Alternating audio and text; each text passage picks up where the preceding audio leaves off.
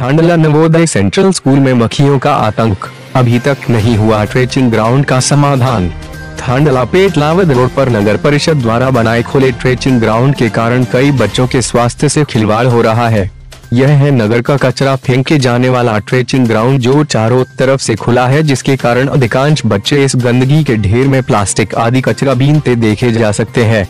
अपने स्वास्थ्य पर होने वाले दुष्प्रभाव से बेखबर वे इस गंदगी में रहने के आदि हो गए हैं।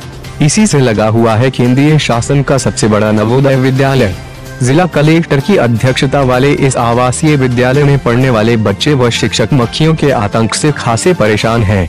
राष्ट्रीय मानवाधिकार एवं महिला बाल विकास आयोग के राष्ट्रीय मुख्य महासचिव P R O Sheshnath Shukla को जब इसकी जानकारी प्रदेशाध्यक्ष पवन नाहर व पार्षद गोलू उपाध्याय पंकज चौरड़िया ने दी, तब संस्था में पहुँचे व स्कूल मैनेजमेंट से पूरी जानकारी ली इस दौरान संस्था प्रमुख ने बताया कि उन्होंने केंद्र व राज्य के सभी उच्च अधिकारियों मंत्री व अन्य जिम्मेदार जनप्रतिनिधियों को उक्त समस्या से अवगत करवा दिया है।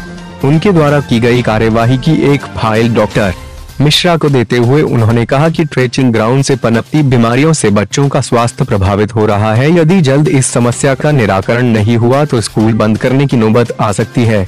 इसके विपरीत समस्या का निराकरण यहाँ के विद्यालय को और विस्तार का मौका मिल सकता है। डॉक्टर मिश्रा ने आश्वस्त किया कि जल्द इसका समाधान किया जाएगा।